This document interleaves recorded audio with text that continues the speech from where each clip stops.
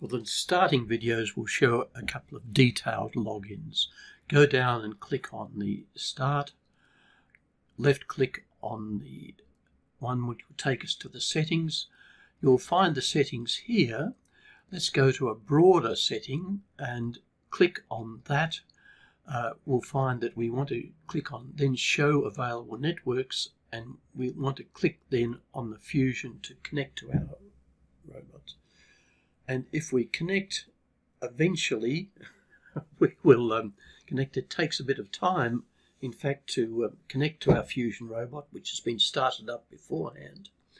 And uh, now we've connected. Good. So let's start up Google Chrome browser. Uh, we want to log in to the Fusion robot and we'll type in 192.168.50.1 colon 8080 and that'll log us into the Fusion interface. Well, first of all we have to go into admin and we'll type in our password and click on login. We're now into the Fusion interface and we'll launch the Blockly programming. First we will cancel the Python code which we're not going to use. Then we go into setting the speed of our robot. We'll set turtle which is a medium speed and now we want to go forwards.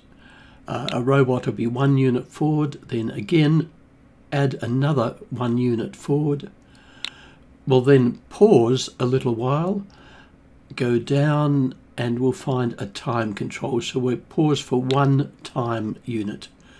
We'll go down to give us a bit more space on the programming environment.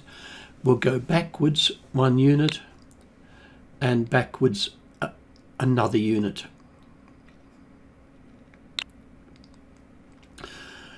We'll click on the size unit to make things a bit smaller to see if we can fit them all on the screen at once. Uh, not quite. Yes, they're all there. Now we're going medium speed, two steps forward. We're then pausing for a little while and then we're going continued medium speed, two backwards. Let's run that and see what happens. We go forward okay and we come back quite beautifully good. So we have programmed our robot to do what we want it to do. Excellent.